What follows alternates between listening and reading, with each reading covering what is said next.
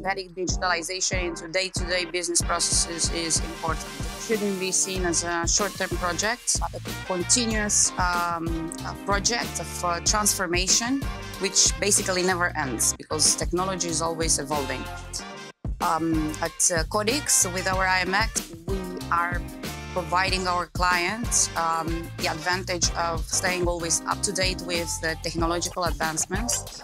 Uh, they can take benefit from uh, our continuous improvements in the solution, which is obviously much better than just to build something from scratch which after delivery it is going to be like a project that starts to age. With our IMX technology, we not only provide factoring companies to benefit from automation, uh, real-time risk and fraud uh, management capabilities, but we also give them the flexible configuration capabilities, uh, product configuration capabilities, so that they can be more innovative.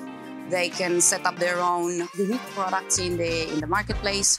Um, they can launch this quickly, and they can maintain a competitive position. Very important, given the tough uh, um, and increased competitiveness in the financial sector.